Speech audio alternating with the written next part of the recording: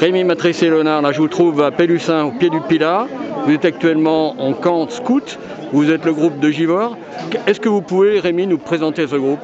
Combien de scouts et comment ça se passe un peu? euh, Nous sommes environ 50 euh, adhérents euh, dans la troupe. Euh, avec euh, une Garçons et filles Garçons et filles, voilà. Hein Scout et guide, hein Scout et guide. Donc du coup, ça va être des farfadets à partir de 6 ans jusqu'aux compagnons jusqu'à 21 ans. Donc euh, nous, on fait partie des compagnons. Et nous sommes 4. Nous sommes en camp actuellement à Bassin, euh, au pied du Crêt de Lion. Pendant deux semaines. Pendant deux semaines. Alors Mathis, euh, qu'est-ce qu'on fait pendant un camp? On fait euh, de la découverte de la nature, Bah, euh, on randonne à la boussole ou on fait d'autres choses? Bah, sur ce camp, qu'est-ce qu'on a fait? La première semaine, donc euh, on a aidé euh, les, personnes qui nous accueillent, donc euh, Jacques et Martine Camier. On leur a aidé, on a, créé une mare donc euh, pour pour l'abreuvage de leurs bêtes, et on a aussi aidé à retracer un chemin. euh, un chemin communal et la semaine prochaine on va plus faire des marches. Ça, c'est la dimension, c'est le charisme, on pourrait dire, des scouts de France. C'est à la fois cette approche de la nature, c'est le service, c'est quoi Oui, euh, bah, une partie ouais, euh, d'aide aux autres et puis euh, bah, aussi de découverte et de vie en nature.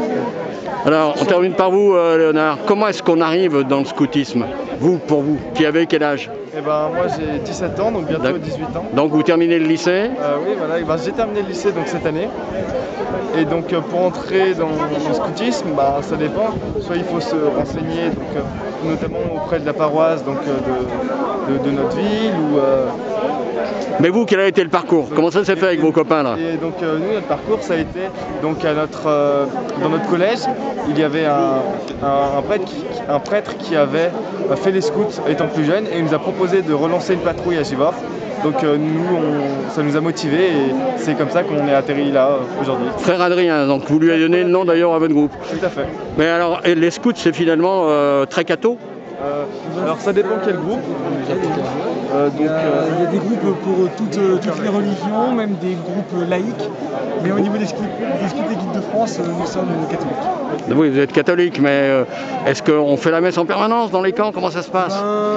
Ben, du temps où il y avait du coup le, le père euh, Paul Adrien, comme c'était un prêtre, on faisait la messe euh, avec, ben, avec lui euh, quasiment tous les jours, il était prêtre, donc il, il pouvait nous- et maintenant, la messe. notamment encore maintenant, on essaie d'y aller au moins euh, une fois par semaine, donc euh, les dimanches. Vous gardez ce lien avec l'Église catholique. ouais.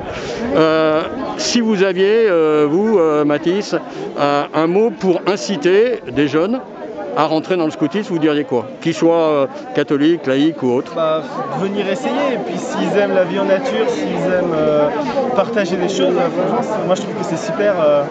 puis bah, venir essayer, ça coûte rien. Et puis comme ça, bah, bah, Aujourd'hui, avec les portables, avec la vidéo, tout ça, on vient quand même, Internet, le scoutisme peut encore attirer euh, nous dans notre, dans notre groupe, on essaye de limiter au maximum l'usage des téléphones pour, plus, pour resserrer les liens humains.